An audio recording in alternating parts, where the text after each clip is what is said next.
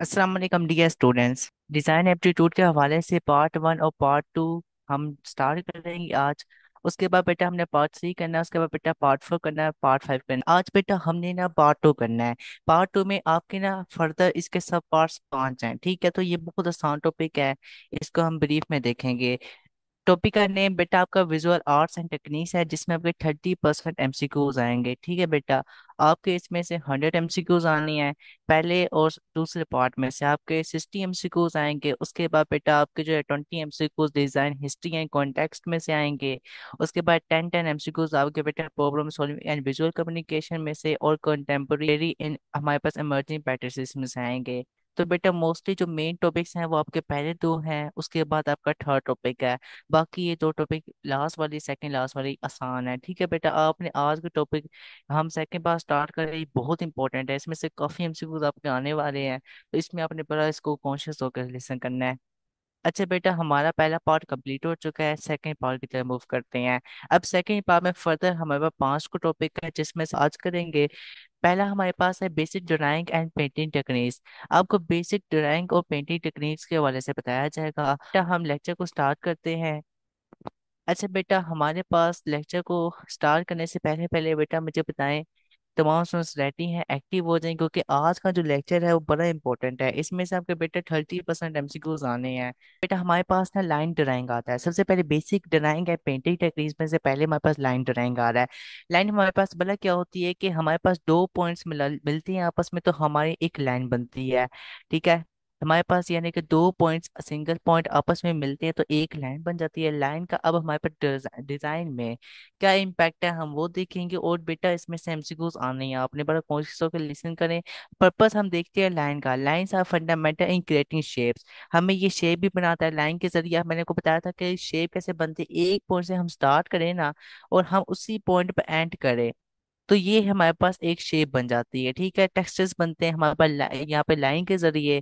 अब टेक्सचर क्या होते हैं कि, कि फ़िज़िकल टेक्सचर होता है डिजिटल टेक्सचर होता है। फ़िज़िकल टेक्सचर हमने पढ़ा है कि जो हमें फिजिकली महसूस हो हम उसको हाथ लगाए। जैसे आपके मिट्टी के बर्तन होते हैं और मैं कितनी टेक्सचर उसमें आपको शो हो रही होती है। तो बेटा वो सारे टेक्सचर होते हैं फ़िज़िकल होते हैं डिजिटल होते हैं। उसके बाद एंड पैटर्न्स अब ये सब लाइन के थ्रू बन रहे होते हैं। They they very in thickness अब थिकनेस भी आप जैसे आप लाइन यहाँ पर लाइन लगाते जाए लगाते जाइए अब थिकनेस को शो कर देगा। अब इधर आप लाइट लाइन लगाए तो बेटा ये आपके लेटर को शो करेगा, ठीक है? टेक्सचर एंड लेंथ और यहाँ पर लेंथ भी आपके आ जाती है। टाइप्स ऑफ़ लाइंस हमारे पास होती हैं। काफ़ी तरह की टाइप्स है लाइंस की, जिसमें हमने कंप्लीट आके देखेंगे लाइंस के हवाले से। तो आगे हॉरिजॉन्टल होती है लाइन हमारे पास वर्टिकल होती है डायगोनल होती है कर्व्ड होती है जिगजैग होती है एंड इम्प्लाइड लाइन्स होती है। इम्प्लाइड लेंस बड़ा इंपॉर्टेंट है। ये आपका एमसीक्यू बन सकता है। इम्प्लाइड लेंस क्या होती हैं? इम्प्लाइड लेंस मतलब क्या होती हैं? ये होती है। जो कि विजिबल हमारे पास हो भी और हमें जो है, यानी कि वो लाइंस हमें जो है महसूस हो, जो डॉट से बनी जाए, डैश से बनी जाए, ठीक है? ये हमारे पास इम्प्लाइड लाइंस होती हैं। अब आपसे वो पूछ सकता है, वो कहेगा कि draw implied lines implied lines का ऐसे आपसे पूछ सकता है तो आपने ड्रा करके दिखा देना, नहीं तो वो आपको जो है ना, ऑप्शन में ही आपको जो है ऐसा आपको हिंट दे देगा, आपने राइट ऑप्शन पर टिक करना है। तो जिग जैग लाइंस क्या होती हैं कि जैसे ये हमारे पास जिग जैग लाइंस हो गई हैं और कर्व्ड लाइंस हमारे पास ये होती है जो कि कर्व्ड हो थोड़ी सी उसके बाद डायगनल लाइंस मेरे पास इस तरह की होती हैं। ये मेरे पास डायगोनल लाइंस है, जैसे ये ये मेरे पास तमाम डायगोनल लाइंस हैं। वर्टिकल लाइंस मेरे पास ये होती हैं, बिल्कुल स्ट्रेट और हॉरिजॉन्टल ये वाली होती हैं, ठीक है? आप समझ लगी? यहाँ पर अच्छा बेटा यूजेस देखते हैं डिज़ाइन के, बड़े इंपॉर्टेंट है, यूजेस में से लाजमी आपने सारे यूजेस जो होंगे ना इनके वो लाजमी अच्छे तरीके से देखने हैं।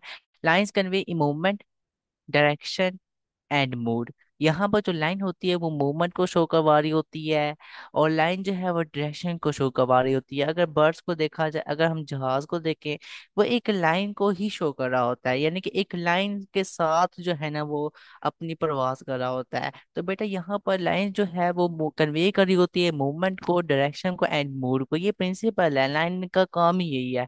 इतना अपनी याद रखना है। Thin lines can express delicacy while thick lines often convey strength और boldness, ठीक है? जो thick lines होती हैं, जो कि वो हमें strength शो करवा रही होती है, हमें boldness शो करवा रही होती है, और जो thin lines होती है, वो हमें जो एक्सप्रेस कर रही होती है डेलिकेसी को।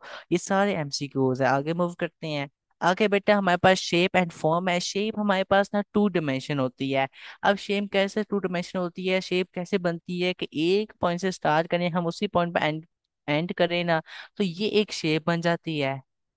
ठीक है बेटा और, और ये हमारे पास टू डिमेंशनल होती है two are two are two dimensional outline like circles squares etcetera अच्छा उसके बाद फॉर्म वाला क्या होती है जो हमारे पास थ्री डिमेंशनल होती है? ठीक है इतना याद रखना है कि फॉर्म हमारे पास थ्री डिमेंशनल होती है स्ट्रक्चर्स को देखें तो हमारे पास स्पेयर्स है ठीक है? स्पेयर है आपका क्यूब्स है। तो ये हमारे पास जो है आपका आ रहा है फॉर्म के अंदर। इम्पोर्टेंस इसका क्या है? इम्पैक्ट क्या है डिज़ाइन में? शेप एंड फॉर्म का। Shape are use to simple visual identity shape जो है, एक विजुअल आइडेंटिटी को शो करता है, लेकिन ये विजुअली हमें जो है शो नहीं हो रहा होता। जैसे अब यहाँ पर ये अगर डिब्बा है ना तो ये सही तरह से डिब्बा नहीं बना हुआ, ठीक है? अब हम इसमें मजीद जो है ना वेरिएशन ऐड करेंगे। अब हम इसको थ्री में लेके जाएँगे, फिर ये जो है ना हमें विजुअल इम्पैक्ट देगा। अदरवाइज़ हमें जो है बिल्कुल ये नहीं देगा, ठीक है बेटा? और ये असल बॉक्स नहीं है। हमने जो है बॉक्स कई बार बनाया हुआ है, ये हमारे पास जो है असल बॉक्स है। ठीक है, ये हमारे पास जो है ना असल बॉक्स होता है, इस तरह से ड्रा होता है, ये हमारे पास जो है ना बॉक्स असल है। अच्छा बेटा, हमारे पास जो शेप होती है, वो visual simple visual identity show करवाती है, जो फॉर्म्स होती है, वो डेप्थ को भी ऐड करी होती है उसी विजुअल आइडेंटिटी में और वो giving a realistic impression in art करती है।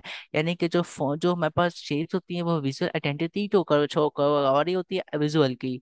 विजुअली मीन की जो चीज़ हमें दिखे ये बॉक्स हमें दिख रहा है, ठीक है, लेकिन जो फॉर्म्स होती है, वो उसी में डेप्थ ऐड कर रही होती हैं और गिविंग रियलिस्टिक इम्प्रेशन शो करवा रही होती हैं। अच्छा बट, आगे हमारे पास आ जाता है शेडिंग एंड हमारे पास टोनल वैल्यू अब यहाँ पे पर्पस देखते हैं कि at depth creating the illusion of three dimensionally अब यहाँ पर जो शेडिंग होती है, हम इसको अगर शेड कर देंगे ना तो इसकी और ज़्यादा रियलिस्टिक लुक बन जाएगी। ठीक है, जो कि हमारे पास शेडिंग और टोन टोनल वैल्यू क्या करती है, इनका पर्पज़ है कि वो डेप्थ को क्रिएट करेंगी। उसके बाद creating the illusion of three dimensionally जो illusion को भी क्रिएट करेंगी। उसके बाद हमारे पास टेक्निक्स होती हैं शेडिंग की। तीन तरह की आपकी टेक्निक्स होती हैं शेडिंग की। उसमें हमारे पास आ जाता है पहले हैचिंग हैचिंग बेटा वाला क्या होता है? हैचिंग हमारे पास ये होता है, जैसे मैं आपको बताता हूँ। हैचिंग ये होता है, जैसे हम जो है ना, ये बिल्कुल आपकी ना स्ट्रेट लाइन लगा रहे हैं, ठीक है? यानी कि हम जो है इसकी लाइंस लगा रहे हैं ना, उसके बाद ये हमारे पास हैचिंग में आएगा। अब इसी से हम क्रॉस कर जाए तो ये हमारे पास आएगा क्रॉस हैचिंग ठीक है? पहले हमने वर्टिकल लाइंस लगाई, उसके बाद हॉरिजॉन्टल लाइंस लगाई, यानी कि ये जो वर्टिकल लाइंस लगा रहे थे, एक ही सिमट में जो चल रही थी लाइंस वो हमारे पास होंगी हैचिंग और अगर हम उन्हीं को क्रॉस कर दे तो वो क्या होंगे? Cross hatching. उसके बाद स्टेपलिंग वाला क्या होती है? स्टेपलिंग में अब यहाँ पर हम इधर से इसको क्रॉस करना शुरू कर दें। तो ये हमारे पास स्टिपलिंग में आएगा। उसके बाद ब्लेंडिंग होता है, जो हमारे पास जो है बेंड हो जाती है, ठीक है? तो ये हमारे पास इस तरह की टेक्निक्स हैं, शेडिंग एंड टोनर वैल्यू की। उसके बाद अंडरस्टैंडिंग वैल्यू हमारे पास, मैंने बताया था कि अगर हम ना एक ना, अगर हम जो है बॉल को देखें ठीक है या फिर हम जो है कोई भी एग्ज़ाम्पल देख सकते हैं इसमें? जैसे अगर सन को देख लें तो सन भी जो है ना ठीक है, रात के टाइम अगर आप देखें ना चाँद को तो चाँद भी जो है ना यहाँ से वाइट और आपको ब्लैक शो हो रहा होता है। तो इसके अलावा अगर हम बॉल को देखें ना तो अगर हम ट्रांसपेरेंट बॉल को देखें तो यहाँ पर जो यहाँ से अगर रोश, लाइट आ रही है ना तो इधर लाइट आपको, लाइट आप जो है ना, इसमें कलर ऐड करेंगे या लाइट आप शेडिंग करेंगे। इधर आप डार्क शेडिंग, बहुत सारा डार्क शेडिंग करेंगे। तो वैल्यू क्या होती है कि आपने अपनी इमेज में जो है ना, आपने इम्पैक्ट डालना होता है लाइट को देखते वक्त। जिस तरफ़ को लाइट बन रही है प्रोडक्ट में, उस तरफ़ आपने जो है ना, लाइट आपने वो शेडिंग करनी है या कलरिंग करनी है। जिस तरफ़ लाइट नहीं पड़ी उस वक्त, उस तरफ़ हमें डार्क शेडिंग करनी है, ठीक है? लाइटर को भी अगर देखा जाए ना तो लाइटर में बेटा जो हमारे पास शेडिंग वाला पर्पस, जो हिस्सा होता है, वो आपका शाइन होता है। उसको अपने भी शाइन भी करना होता है, फिर आप कलरिंग में भी काफ़ी चीज़ें आपके आ जाती हैं। अब इसमें बेटा आगे अंडरस्टैंडिंग वैल्यू को देखते हैं वैल्यू हाइट हाइटनेस और darkness is crucial for creating highlights and shadows giving objects weight and volume अब यहाँ पर ना, अब हमने इसको जब हमने इस पर शेड किया तो हमें ये वॉल्यूम इसका शो हो रहा है, ठीक है? बकायदा महसूस हो रहा है कि ये बॉल है, ठीक है? उसके बाद ट्रांसपेरेंट बॉल उसके बाद यहाँ पर ऑब्जेक्ट वेट हमें वेट भी इसका महसूस हो रहा है। तो इस तरह से बेटा जो वैल्यू होता है वो हमारे पास लाइटनेस और डार्कनेस को शो करवा रहा होता है। आगे मूव करते हैं। आगे बेटा हमारे पास पर्सपेक्टिव आ रहा है। ये बड़ा इंपॉर्टेंट टॉपिक है, इसमें से मे भी आपका एमसीक्यू आए। अच्छा एक होता है हमारे पास वन पॉइंट पर्सपेक्टिव ठीक है? Everything cut on a horizontal अब ये ध्यान से समझें, जैसे जैसे एक पर्सन है, वो यहाँ पर ना खड़ा है। अब यहाँ से वो ना देख रहा है, इधर से, ठीक है, ये मैं इसको डाल कर देता हूँ, यहाँ से वो देख रहा है। अब वो यहाँ से देख रहा है और यहाँ पर वो एक लाइक के जो है ना, कुर्सी को देख रहा है, मेज को देख रहा है, ये इसने बना नहीं तो यहाँ पर लाइक वाइज के वो ना एक कुर्सी को देख रहा है, ठीक है। तो वो जिस एंगल से देख रहा है ना जिस एंगल से वो यहाँ से देख रहा है, अब यहाँ से देखेगा ना तो ये कुछ इस तरह से यहाँ पर जो है ना बनेगा। इस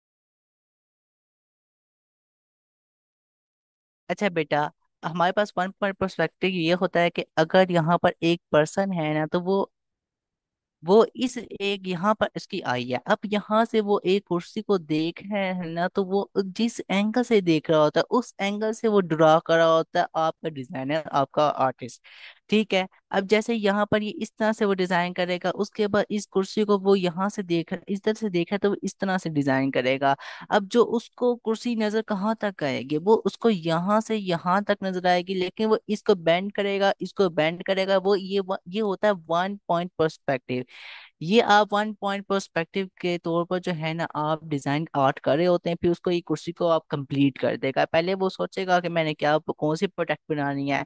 उसके मुताबिक जो है एंगल के मुताबिक जो है ना, उसकी वो, उसको बैंड बुंड करेगा, ठीक है? उसके बाद हमारे पास टू पॉइंट पर्सपेक्टिव होता है कि जिसमें हमारे पास ना बेटा टू पॉइंट परस्पेक्टिव ये होता है कि often use for objects at an angle using two vanishing points अब इसमें बेटा जो आपकी बिल्डिंग्स बनी होती हैं, वो आपकी टू पॉइंट परस्पेक्टिव से बनी होती हैं। आगे मैं आपको आपको एक डिज़ाइन भी दिखाता हूँ, उसमें आपको बकायदा समझाता हूँ। पहले एप्लीकेशन देखते हैं परस्पेक्टिव इसकी इंग्रेटिंग हमारे पास is creating spatial depth in drawings and architectural designs समझ लगे मैं आपको बताता हूँ। आगे बेटा ये हमारे पास ना एक बिल्डिंग है। अब ये जो बिल्डिंग है ना, ये टू पॉइंट पर्सपेक्टिव से बनी कैसे? यहाँ पर अब लेट्स सपोज़ कि इधर से एक ना यहाँ पर ये एक वानिशिंग पॉइंट है। इधर एक पर्सन खड़ा है, ठीक है? यहाँ पर ना अगर एक पर्सन इधर को खड़ा है ना तो कि यहाँ पर, यहाँ से। अगर वो यहाँ से देख रहा है तो इधर से ये एंगल उसका बनेगा। ये मेरा ख्याल है यहाँ से। ठीक है, और उसके बाद यहाँ पर एक पर्सन यहाँ पे खड़ा वो इधर से उसका ना एक एंगल बनेगा। तो ये अब यहाँ से जो भी उसको नज़र आ रहा है, वो ड्रा करता चला जा रहा है। तो ये होता है कि आप टू पॉइंट परस्पेक्टिव को देखकर जो है ना, आप ड्रा कर रहे होते हैं। बिल्डिंग्स एक्सेट्रा ठीक है? उसके बाद आगे हम मूव कर जाते हैं।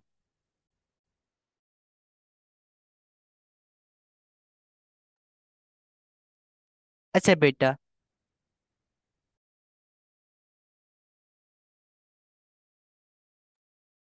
अच्छा आगे हमारे पास आ जाता है colour theory basics colour theory हमारे पास एक प्राइमरी कलर्स होते हैं, एक सेकेंडरी कलर्स होते हैं, एक हमारे पास टर्टरी कलर्स होते हैं। एक कल अभी हमने पढ़ा था, जो प्राइमरी कलर्स होते हैं ना, याद रखना, उनसे मिलकर तो काफ़ी, बाकी जो आपके कलर्स होते हैं वो बन जाते हैं। लेकिन प्राइमरी कलर खुद अकेला हो, अकेले होते हैं ठीक है? इनसे कलर बनते हैं लेकिन ये खुद ही अपने होते हैं जैसे रेड कलर है रेड कलर किसी को मिलकर कलर नहीं बनता ये अपना एक कलर रह जाती है ठीक है? उसके बाद ब्लू कलर आपका येलो कलर है। अब बेटा इनसे जो है ना आपके बाकी कलर्स नहीं बनते बाकी कलर्स बनते हैं लेकिन जो है, बाकी कलर्स में इसमें ये जो आपके रेड कलर है, ब्लू कलर है, ये नहीं बन पाते, ठीक है? ये याद रखें सेकेंडरी कलर आपके बाकी हो जाते हैं, ऑरेंज है, ग्रीन है, पर्पल है, form by mixing primary colours. अब यहाँ पर ना आपने याद रखना है एमसीक्यूज इस तरह से वो पूछेगा कि कौन कौन से कलर्स ऐसे हैं जो मिक्स होकर बनते हैं। वो हमारे पास होते हैं ऑरेंज, ग्रीन और पर्पल, कौन से ऐसे कलर हैं जो मिक्स होकर नहीं बनते? वो हमारे पास रेड, ब्लू और येलो है।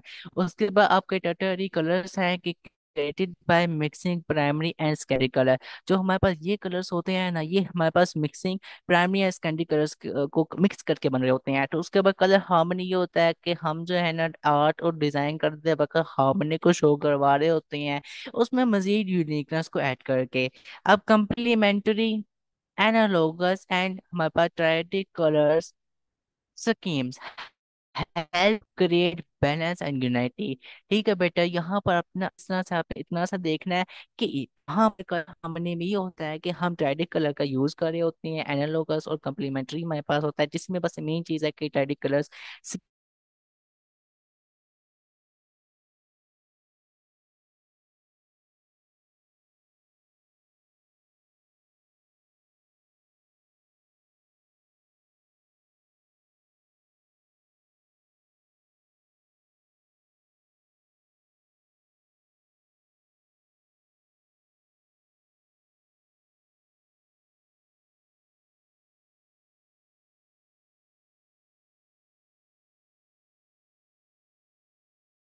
जी बेटा नेक्स्ट हमारे पास आ रहा है। अच्छा बेटा, मेरी आवाज़ क्लियर है? तमाम रिप्लाई कर रहे हैं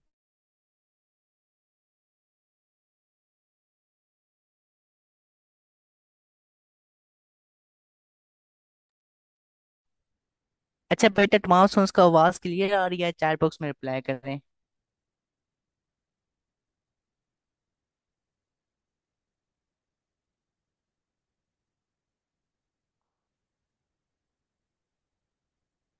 ठीक है बेटा, आवाज़ क्लियर है ना मेरी? बिल्कुल वेरी गुड अच्छा बेटा, हमारे पास नेक्स्ट आ जाता है वार्म वियर स्कूल कलर्स अब वार्म कलर्स भला कौन कौन से होते हैं? वार्म कलर्स होते हैं ये बस खत्म होने लगा है आगे आपका नेक्स्ट जो टॉपिक है ना, उसमें बस चार पाँच टॉपिक हैं। तो लेकिन बेटा, ये बड़े इंपॉर्टेंट है। अब देखें कितने एमसीक्यू इसमें से आ रहे हैं। इसमें से आपके थर्टी परसेंट एमसीक्यूज आएँगे। पहले दो टॉपिक से दस पंद्रह एमसीक्यूज आपके आ जाएँगे इजिली क्योंकि आपका मेन जो आपके टॉपिक्स हैं, वो इसमें आ गए हैं। अच्छा बेटा वार्म जो हमारे पास कलर्स होते हैं, यही चीज़ें हैं सारी इनमें से आएगा।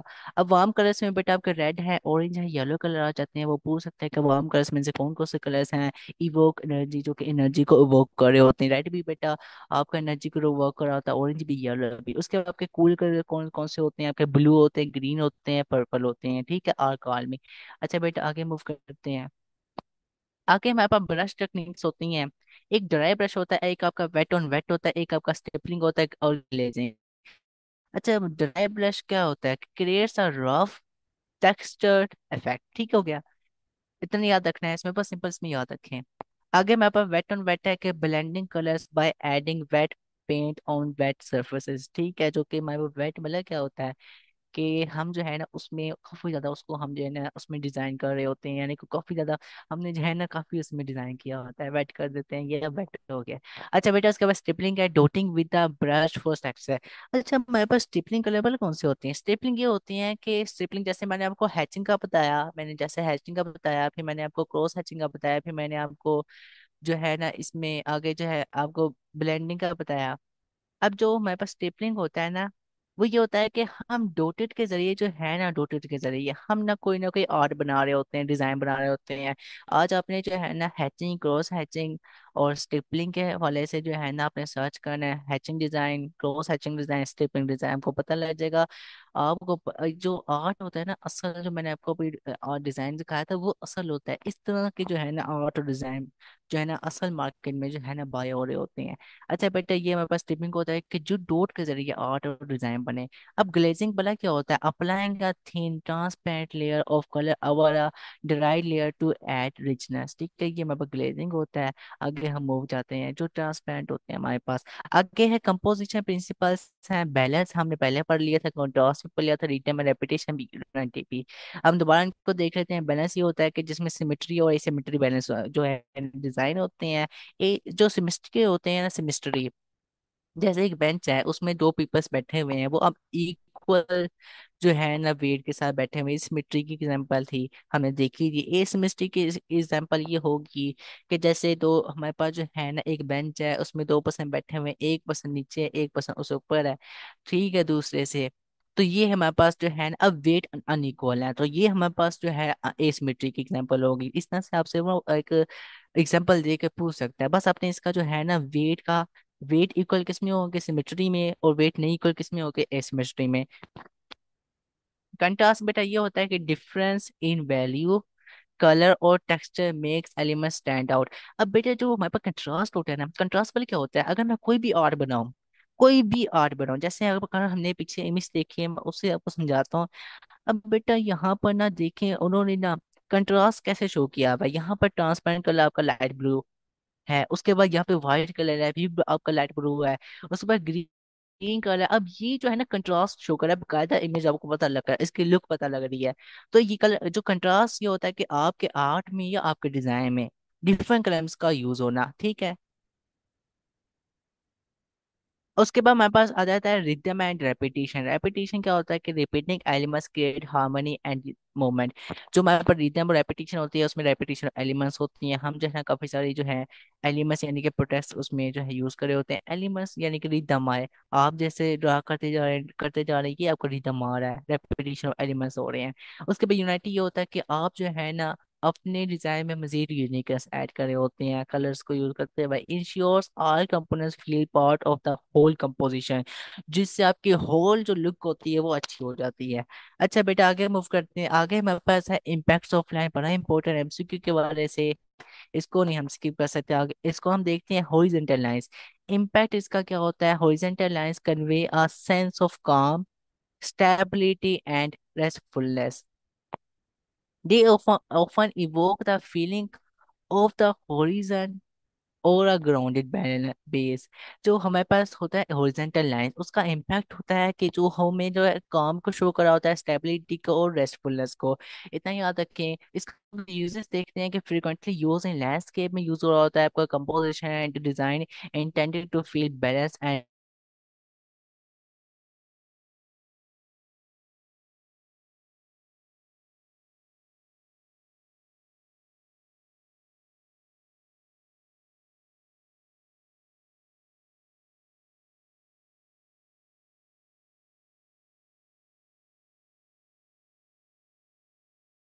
को 90 डिग्री का शो करवा देते हैं जिसमें आपकी स्पीड जो है ना मीडियम होती है, ठीक है?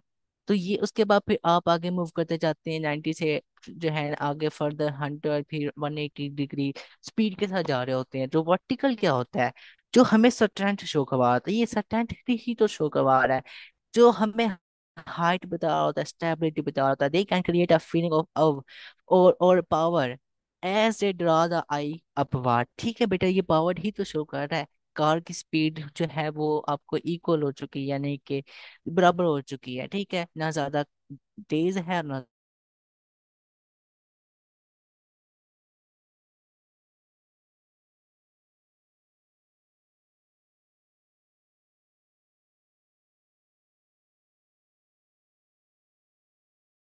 इंटीरियर जो डिज़ाइन होते हैं, उनमें वर्टिकल लाइन्स बहुत यूज़ हो रही होती हैं इम्पैक्ट है, यूज़ है। अच्छा बेटा आगे हमारे पास डायगोनल लाइन्स होती हैं, इस तरह की। ये बल्कि सर्टेन इस तरह, बल्कि इस तरह कर लें ये आपके डायगनल लाइन्स होंगे। इम्पैक्ट क्या है इसका? जो हमारे पास ये मोमेंट को शो कर रहा होता है, बिल्कुल ऐसा ही है। एक्शन भी ये शो करता है और डायनेमिज्म को भी। दे ऑफन क्रिएट टेंशन और एक्साइटमेंट मेकिंग का कंपोजिशन फील एक्टिव ठीक है बेटा? कॉमन यूज़ देखते हैं employ to convey motion in art ठीक है? जो ओके आर्ट में मोशन को क्रिएट करता है डायगोनल लाइंस ज़ाहिर सी बात है कि देखें, अगर हम एरोप्लेन को देखें तो इसी सिम्त में तो उड़ रहा होता है। तो इमोशन को क्रिएट कर रहा होता है आर्ट में, ठीक है? उसके बाद जो हमने उड़ाने वाले का कोई चीज़ बनानी हो तो वो हम इस सिम्टम बनाएँगे डायग्राम बनाएँगे। Photography and graphic design leading the viewer's eye through the composition आगे मूव करते हैं। आगे हमारे पास कर्व लाइंस होती हैं, जो कि इस तरह की होती हैं। कर्व लाइंस बेटा, यहाँ पर कर्व लाइंस कन्वे हमारे पास fluidity grace and a natural organic feel ठीक है? जो कि हमें ना ऑर्गेनिक फील दे रही होती है। अगर हम जो है ना देखें, हम चाँद को देखें तो इस तरह के तो होता है, ठीक है? उसके बाद दे कैन इवोक हमारे पास कामनेस ठीक है? ये कामनेस ही तो शो करा होता है चाँद हमें। और gentle movement depending on the degree of curvature. Uses हैं common uh, जो है हमारे पास common in designs with the softer और more हमारे पास रोमांटिक फील ठीक है? उसके बाद like nature inspired artworks floral design and free flowing graphics तो ये सारे अपने यूज़ याद रखने हैं इनके।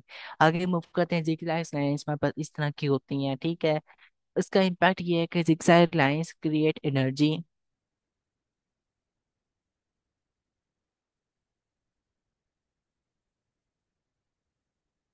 जो कि एनर्जी को क्रिएट करी होती है जिगजैग लाइंस अगर अगर हम ना एक, अगर हम एक साइकिल को देखें।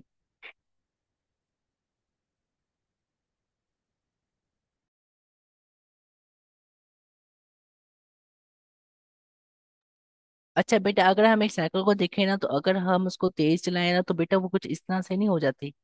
ठीक है, अगर हम बाइक को देखें, अगर हम कार को देखें तो बेटा वो हमारे पास क्या होती है जिगजैग लाइंस क्रिएट एनर्जी जो कि एनर्जी को क्रिएट करी होती है, ठीक है? जब भी कोई चीज़ तेज हो जाएगी ना, वो इस तरह से रोटेट करने लग जाती है। उसके बाद हमारे पास आता है अनप्रिडिक्टेबिलिटी और एंड इंटेंसिटी को शो करी होती है। They give a sense of excitement जो कि एक्साइटमेंट को शो करी होती है और chaos and can appear aggressive और स्टेयरिंग ठीक है? उसके बाद यूजेस देखते हैं। ऑफन यूजेस यूज़ टू हमारे पास डिपेक्ट एनर्जी जो कि एनर्जी को कैरी करता है कंफ्लिक्ट को आगे हमारे पास आता है edginess making them suitable for intense senses action oriented compositions और टू ब्रेकअप? हार्मनी ठीक है बेटा, ये जो हमारे पास लाइंस होती है ना, वो एनर्जी को क्रिएट करी होती है। इतना इसमें याद है कि आगे मूव करते हैं। आगे हमारे पास आता है इम्प्लाइड लाइंस अच्छा बेटा, ये यूजेस बड़ा इंपॉर्टेंट है। मैं कहता हूँ ये आ जाएगा, ठीक है? अच्छा बेटा, इसमें lines are not drawn directly, but are suggested through vi- हमारे पास visual cues, such as objects aligned in a way that guides the eye. They create a, हमारे पास subtle pathway and flow within the composition. जो inclined lines होती हैं, वो हमारे पास इस तरह की होती हैं जो कि डॉटेड फॉर्मेट में होती हैं, जो कि हमें लाइन शो करवा रही होती है लाइन होती नहीं है। ठीक है? ये हमें जो है ना लाइन शो कर रही है, लेकिन है है नहीं है। ठीक है? तो ये हमारे पास इम्प्लाई लाइन्स होती हैं। कॉमन यूज़ देखते हैं। Use to direct the viewer's gaze naturally through the design without obvious lines, often found in photography and complex compositions. ये भी हमारे पास बड़ा इसका रोल है इम्प्लाई लाइन्स का डैशेड और डॉटेड लाइन्स डैशेज ये होता है कि हमारे पास डैश के थ्रू जैसे कि ये है, इस तरह से लाइन बन जाए, ठीक है? ये, ठीक है डैशेड हमारे पास, और डॉटेड ये होता है कि डॉट के तरीके से लाइन बन जाए तो ये हमारे पास इम्पैक्ट है डेटेड हमारे पास dotted and dashed lines suggest movement और temporary impermanent permanent boundary they often imply a softer or less definite line common uses like frequently seen in structural diagrams maps or designs where, where separation is indicated without fully disconnecting elements अच्छा बेटा यहाँ पर आगे move करते हैं आगे बेटा हमारे पास ना इसका आठवां और लास्ट टॉपिक है इस पूरे पार्ट का तो नेक्स्ट जो हमारे पास है, वो बिल्कुल उसमें पाँच को डेफिनेशन है, वो बहुत आसान है, मैं आपको उसको इसलिए जल्दी में हम कवर कर देंगे। पंद्रह मिनट तक हम अपना लेक्चर भी वाइंड अप करते हैं। अच्छा बेटा, हमारे पास आ जाता है आगे thick thick and thin lines impact of thick and lines में बस ये होता है कि thick lines create a sense of boldness ठीक है एंड एम्फेसिस बेटा, ये जो जितने भी डिज़ाइन एप्टीट्यूड के, जो टॉपिक आए हैं ना, उन टॉपिक देख ही हमें पता लग जाता है कि उनमें क्या चीज़ें हैं। तो बहुत सीखने इसको अपने तरीके से कर लेना है। अच्छा बेटा, उसके बाद हमारे पास आया था impact of thin lines thin lines are delicate soft and feel as intricate ठीक है, उसके बाद कॉमन यूज़ ये होता है कि use to gather thick and thin lines at contrast ठीक है, जो कंट्रास्ट को कर रहे होते हैं इनका यूजेस है। कंट्रास्ट मैंने बताया था डिफरेंट कलर्स यूज़ करना and hierarchy to design directly focus to specific areas